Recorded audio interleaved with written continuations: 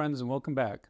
I'm Marc Baker, and today we're going to go into a new direction.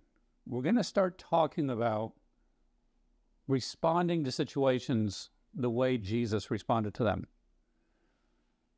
The subject that the Holy Spirit has given me, I'm going to be calling Walking as Jesus Walked.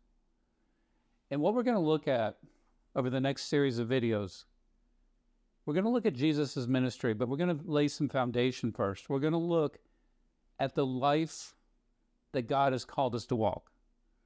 One thing that concerns me as I interact with people and talk to people within the church is that it just seems like so many people are not experiencing the life that God has called them to experience.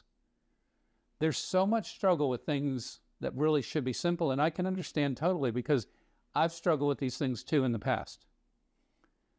Particularly when we're looking at faith, we make it out to be such a struggle. But God has called us to rest in the completed work of Christ. In Psalm chapter 23, which is a prophecy of the day we live in, it talks about the fact that we will walk through the valley of the shadow of death, that there will be enemies surrounding us. But in the midst of the darkness, we're told in Psalms 23 that God sets a table before us. So as I sat meditating on that and thinking about that, the Holy Spirit took me back to my childhood. When I was born, I didn't need to ask my parents, you know, to guarantee me they were going to take care of me. They just did. As I grew, you know, we had dinner time. I didn't have to fast before dinner time. I didn't have to go out in the kitchen and kneel before my mother and cry out to her that she'd provide me with dinner. I would just, at the time that we would have for dinner, I would go out to the table or I'd get in the car because a lot of times we went out to dinner, but there was just a confident expectation that the meal would be provided at the time we usually ate. Why did I have that confident expectation? Because I had faith in my parents' willingness to provide for me. And in looking at that, as the Holy Spirit took me back to that, he started to show me that a lot of the issues we have with faith, with receiving from God, with our confidence in the provision, comes back to the fact that we do not have a confident expectation in his willingness to provide for us. One thing we're going to see and one thing we're going to talk about is relationship. There are a lot of Christians who know about God. There are a lot of Christians who know about the Holy Spirit. But do we know God? Do we know the Holy Spirit? There's a lot of people who know about the Word, who may have memorized verses in the, of the Bible, maybe even memorized scripts that they use when they go out to witness to people but do they know the Word? And when I say that, there's a vast difference between memorization and revelation. Revelation knowledge gained in times of fellowship with the Holy Spirit. I'm not saying it's not important for us to be memorizing scriptures or to be looking and reading the Bible and things like that because the Holy Spirit will take the things we've read, we've memorized, and he will begin to speak to us. We talk about that still small voice. One thing we're going to see, you know, a commonly quoted verse when we start talking about faith is Romans 10 17. Well, when you look at this, faith comes by hearing, and hearing by the word of God. Yes, we need to hear with our physical ears, and we need to see with our physical eyes. Peter calls the word of God an incorruptible seed in 1 Peter chapter 1 and verse 23. We take that incorruptible seed, we plant it in our soul. And the Holy Spirit then takes what we have planted in our soul and he begins to speak to our spirit. When I talk about hearing from the Holy Spirit, when I talk about fellowshipping with the Holy Spirit, you'll find that he'll speak to you in one of three ways. One is with an audible voice. And in all honesty, friend, he's never spoken to me in an audible voice. The second is an authoritative voice. It is such, there's such a force to it, such a reality when he speaks to you in that authoritative voice that it will seem like he's spoken to you audibly. But people around you can't hear it. The people I know who have heard the audible voice have had people around them also hear it. I'm reminded of Jesus on the Mount of Transfiguration. Peter and John were with Jesus, and they heard God speak from heaven, This is my beloved Son. They heard the audible voice. The times where I have heard the authoritative voice of the Holy Spirit were when He was trying to warn me of danger or situation coming up. But your daily fellowship, what we will hear the most is that still small voice where He is speaking to us and we're hearing him with the ear of our spirit. Why do I bring that up at this point? Well, in Romans 10 17, when it says faith comes by hearing, there's a couple things there that are important for what we're going to be looking at as we move forward. First of all, the word faith. We're going to look at this a little bit deeper, and we have our new book coming up, Walking in the Faith of the Son of God. And some of the things we're going to look at in this series will come from that book. But the word faith is translated from the Greek word pistis, which is a faith that can only be received as a gift from God. We can't generate it through our own human effort. When it talks about hearing, it's talking about hearing with the inner ear. How do we hear with the inner ear, friend? in fellowship with the Holy Spirit because He is a spirit. We are a spirit. We have a soul, which is our mind, will, intellect, and emotions, and we live in a body. When He speaks to us in that still small voice, He is speaking to us and we're hearing Him with our inner ear, which is the ear of our spirit. He is a spirit speaking to us who are spirit. So many people struggle with this because they're trying to hear the voice of the Holy Spirit with their soul or their physical ears. But nine times out of ten, when the Holy Spirit speaks to us, He's speaking to us and we are hearing Him with the ear of our spirit. We'll talk about that more as we move along in the series. But for now, let's start in 1 John chapter 2. And we're going to look, look at a text that will come from 1 John chapter 2, verse 6. And then we're going to move forward and see all that the Holy Spirit has for us. But as we get started, let's go ahead and ask Him for His help. Holy Spirit, I thank you for each person that you've drawn to these programs. Jesus said in John chapter 16, we read that he told his disciples just before he went to the cross, just before his arrest, that he would send you as their other comforter. That would be profitable for us to have you in our lives. He told us that you would reveal Jesus to us. So, Holy Spirit, for each person watching this program, watching this broadcast, I just ask you to teach them, to guide them. You're our teacher, our guide, and I yield my lips to you, to your anointing. I thank you for the teaching gift. And Father God, I look to you. You loved us so much that you sent Jesus. And I ask you to open the eyes of every person who watches this program's understanding, open their spiritual eyes, give them a spirit of wisdom and revelation, let them know the hope of their calling, the riches of their inheritance, the Holy Spirit that is within them, and the working of your mighty power in their life. I surround each one with faith and love and declare your blessings over them. And thank you, Father, for your goodness. In Jesus' name. So, friend, here in First John chapter 2 and verse 6, it said, He that says he abides in him, talking about Jesus, ought himself also so to walk, even as he walked. He that says he abides in him. The word abide here is talking about a dwelling place.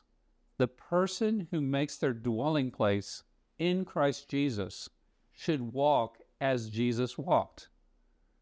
What does Paul what does John mean by this, friend? Well, when we talk about walk, if you go back to the original language and look at this, it's talking about the way we conduct our life. In other words, our behaviors, our actions, the way we respond to situations, the way we respond to external situations. When he's talking about walking as Jesus walked, he's referencing all of these things. So, what John is telling us is a person who makes their home, their dwelling place in Christ Jesus, should respond to the situations of life, to re- respond to the simulation simulations, respond to the pressures of life, just as Jesus would. Sounds like a tall order, doesn't it, friend? But it's not. I don't believe John would have said that if it weren't possible. But that sounds a lot different than what we're seeing in a lot of people's lives today. Do we respond to symptoms in our body as Jesus would have responded? Do we respond to trials and tests and situations as Jesus responded? These are questions we're going to look at. And starting out, let's go over to 2 Corinthians chapter 5.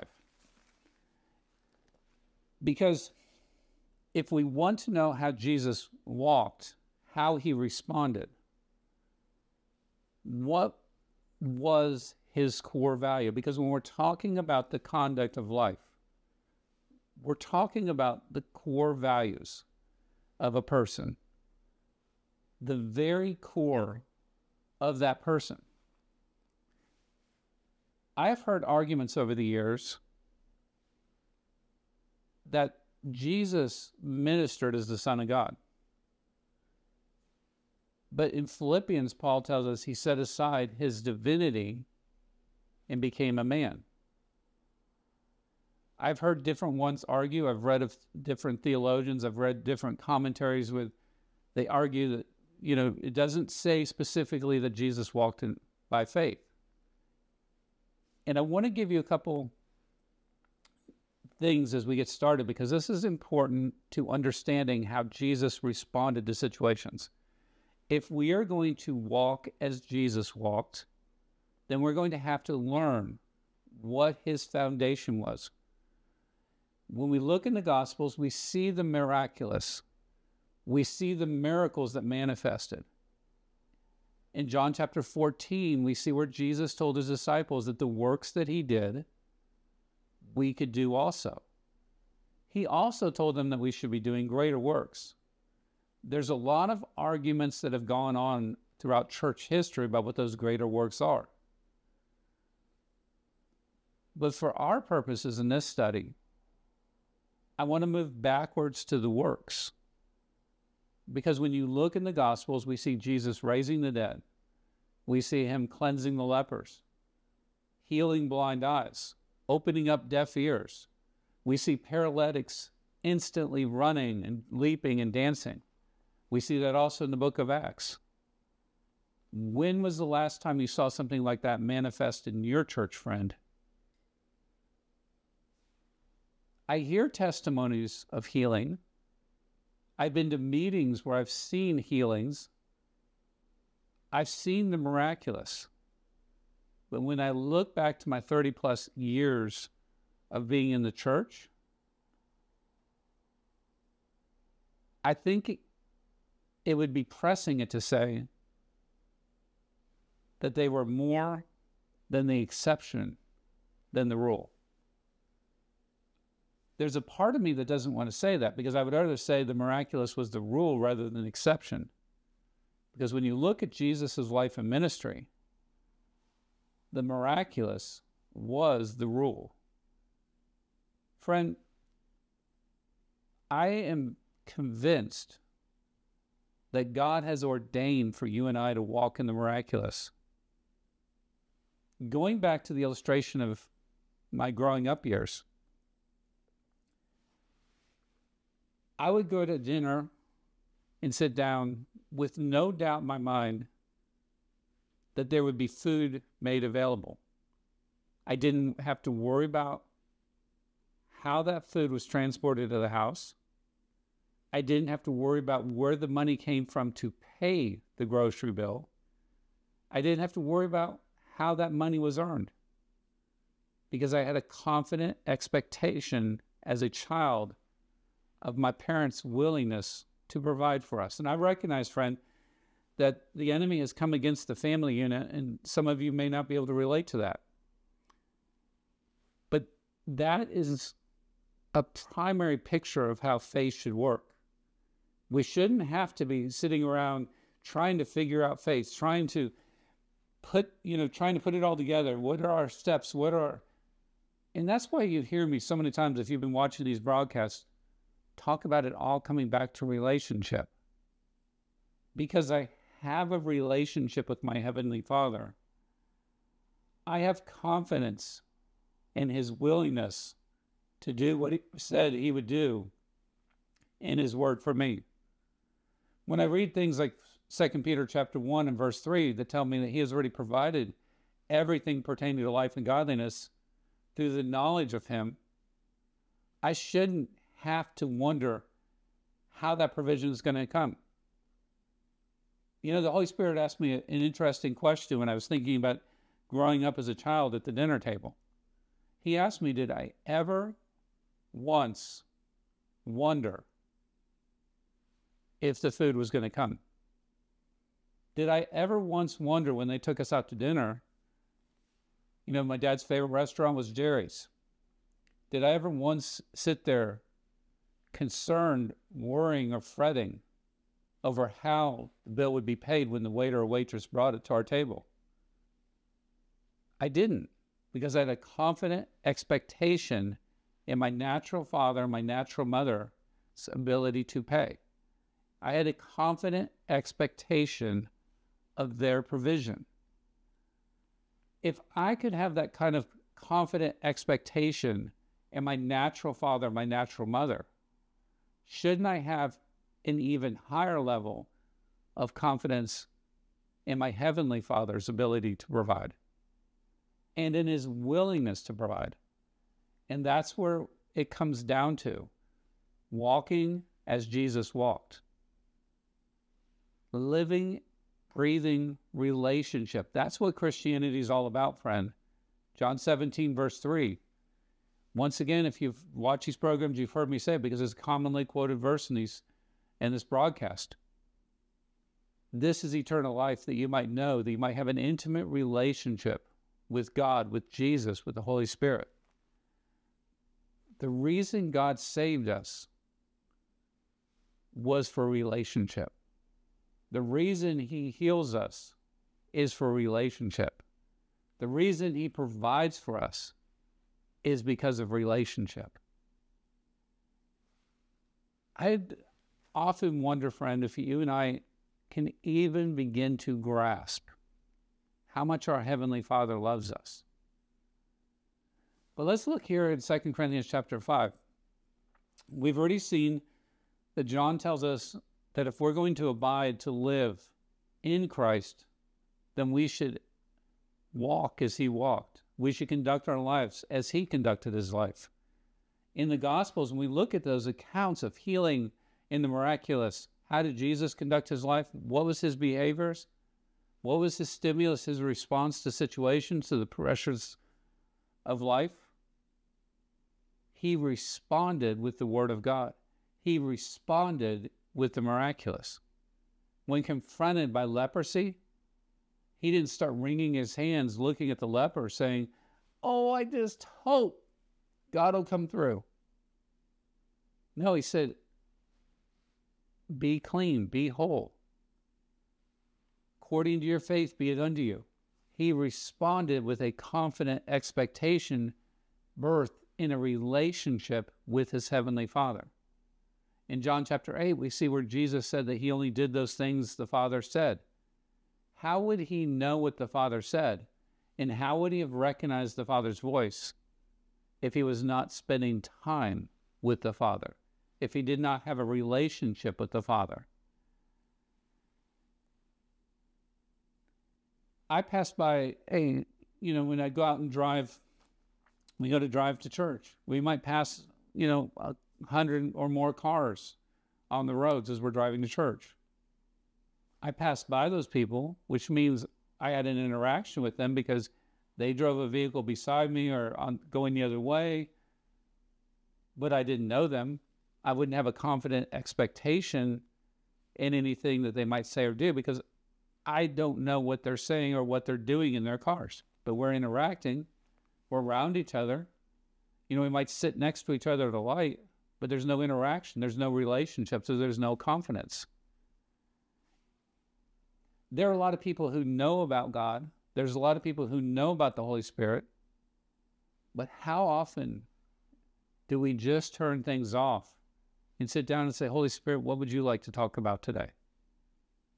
everything comes back to relationship.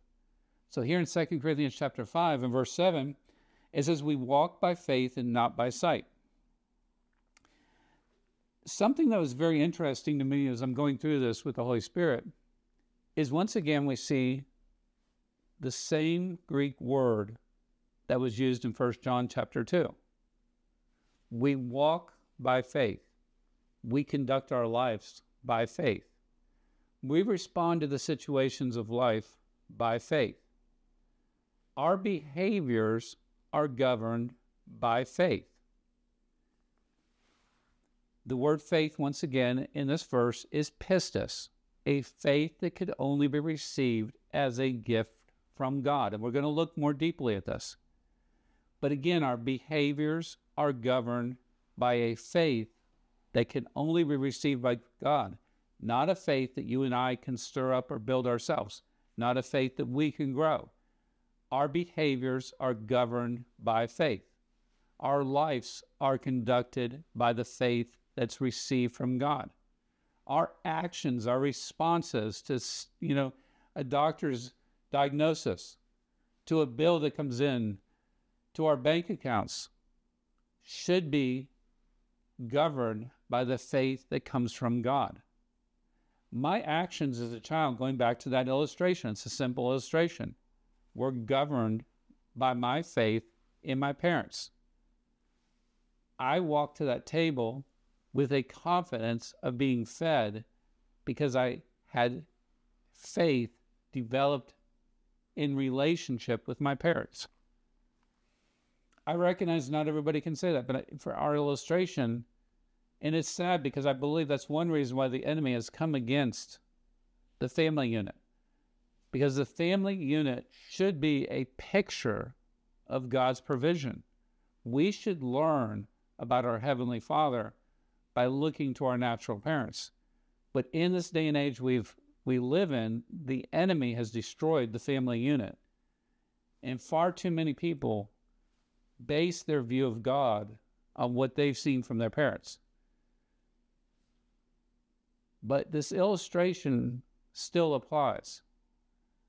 The way we should be operating, the way children should be operating, is they should be seeing that their parents are providing for them and they should be developing a confident expectation.